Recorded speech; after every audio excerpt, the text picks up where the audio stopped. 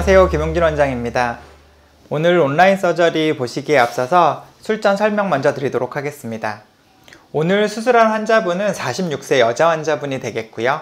하악의 우측 40번대 44, 5, 6, 7번을 발치를 하고 그리고 매복되어 있는 48번까지 발치를 하고 3개의 임플란트를 4번과 6번과 7번에 식립을 하기로 계획을 하고 있습니다. 술전 파노라마가 되겠습니다. 보시는 것처럼 수평 매복된 48번 치아가 보이시고요. 4번, 5번, 6번, 7번이 치주 상태가 썩 좋지가 않습니다. 그래서 4개 치아를 모두 발걸을 하고 3개의 임플란트를 식립하기로 했는데 4번 부위에 보시면 캐널까지 거리가 충분히, 충분합니다. 하지만 6번과 7번 부위에서 보면 특히 7번 부위에서는 캐널까지 잔종골이 굉장히 적은 것을 알 수가 있겠죠. 이런 경우에 immediate placement를 안 하고 delayed로 식립을 하실 수도 있겠지만 그렇게 된다면 또 대합치의 정출 이런 것들이 문제가 될 수가 있기 때문에 가능하다면 immediate placement를 할 수가 있는 것이 좋다고 생각을 합니다. 그런데 일반적인 우리가 taper 드릴을 쓰다 보면은 mandibular canal이 taper 드릴의 뾰족한 단면으로 관통되는 순간 nerve의 damage가 생길 수가 있거든요. 그래서 이런 경우에 기존에 우리가 taper 드릴밖에 쓸 수 없었다고 한다면 조금 위험성이 높아서 그렇기도 하겠지만 요즘 오스템에서 개발된 485 키트를 쓰게 된다면 드릴 자체가 우리가 CAS 드릴과 같이 끝이 round end 디자인을 가지고 있어서 혹시나 mandibular canal을 관통하더라도 그 nerve에 가해지는 그런 nerve의 damage에 대한 위험성이 적, 적기 때문에 6번과 7번 부위에는 즉시 식립을 하되 taper 드릴이 아닌 485 키트에 있는 485 드릴을 사용을 했습니다. 그래서 6번 부위에는 7mm 길이의 임플란트를 계획을 했고요. 7번 부위에서는 6mm 길이의 임플란트를 계획을 했습니다. 이렇게 숏 임플란트를 심을 땐 485 키트 굉장히 도움이 돼서 그렇게 썼고요. 또한 사랑니를 발치를 하게 되는 경우에는 사랑니를 발치를 하게 되면서 flap을 열게 되면 buccal shelf 즉 external oblique 있는 부위에 코티칼본이 노출이 됩니다. 이제 그런 부위에 auto bone collector라는 자가골 채취할 수 있는 드릴을 사용을 하게 되면 자가골을 채취를 하기가 좀 쉬워지고요. 그리고 채취하자마자 부가적인 처치 없이 바로 사용할 수 있기 때문에 immediate placement를 하고 픽처 주변에 gap management를 할 때 사용하기 좋습니다. 물론 양이 모자라면 다른 동종골 이식재를 섞을 수도 있겠지만 그래서 이번 케이스에서는 발치 후 즉시 식립을 하는데 잔종골의 높이, 캐널까지의 거리가 제한되어 있어서 485 키트를 썼다는 거 그리고 오토본 콜렉터를 이용해서 자가골 채취를 했다는 그 부위에 집중하셔서 보시면 도움이 될 것 같습니다. 그럼 동영상 보도록 하겠습니다.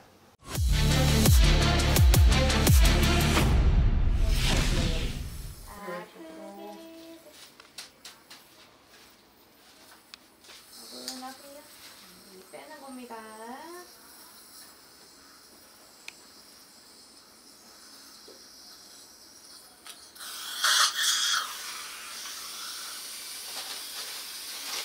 보세요.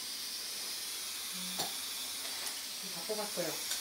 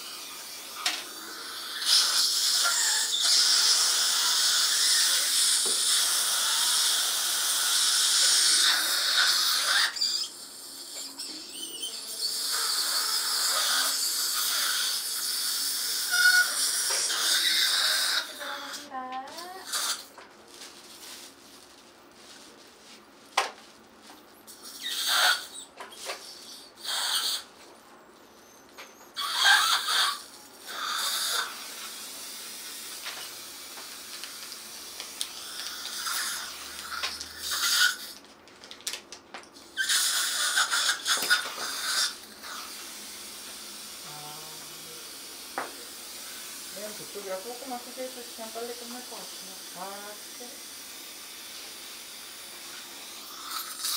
내가 크게. 잠깐만요.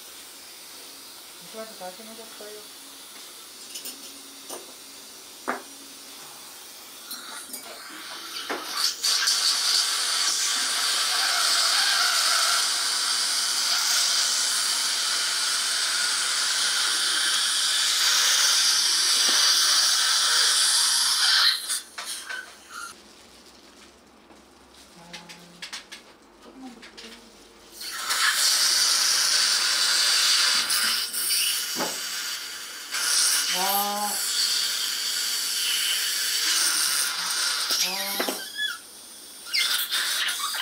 근데 거기서 따라요.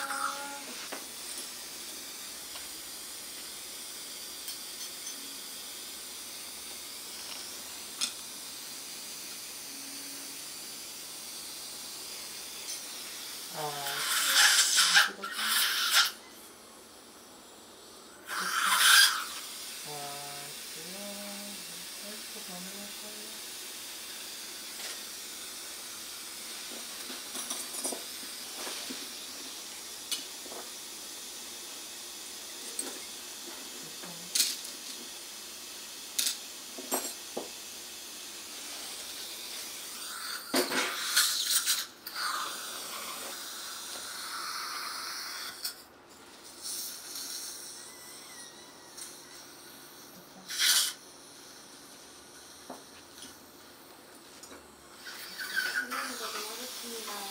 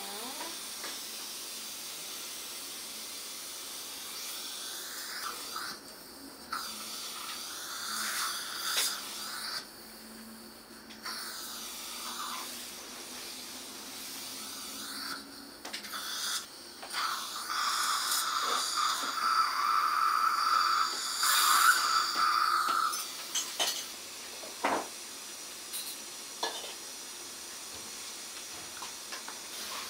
처음 물어볼까요? 수루 파노라마입니다. 보시는 것처럼 계획한 대로 4번과 6번, 7번에 3개의 임플란트가 잘 들어갔고요. 보시면 6번과 7번 부위에 캐널까지 거리가 굉장히 제한됐었는데 6번 부위에는 직경 5.0에 길이는 7mm 7번 부위에는 직경 5.0의 길이는 6mm 임플란트가 canal을 침범하지 않고 잘 위치된 걸 확인하실 수 있습니다. CT를 한번 보겠는데요. CT상으로 보시더라도 여기 7번 부위에 canal까지의 약 1mm 정도의 간격을 두고 잘 식립된 걸 확인할 수가 있습니다. 우리가 다들 아시는 것처럼 taper 드릴은 끝에 드릴 apex, 즉 Y 디멘션이라고 불리는 샤프한 부위가 마킹된 드릴의 길이에 포함되어 있지는 않습니다. 그래서 그런 드릴을 사용하다 보면은 내가 예측하지 못하는 맨디블라 캐널에 어떤 관통이 있을 수가 있을 것이고요. 샤프한 드릴 팁에 의해서 너브 데미지가 생길 수 있는데 이제 그런 경우에 이런 485 드릴, 485 키트가 좋은 대안이 될 거라고 생각을 합니다. 그래서 이게 6번 부위에도 캐널까지 어느 정도 거리를 두고 잘 들어간 걸 확인할 수가 있고요.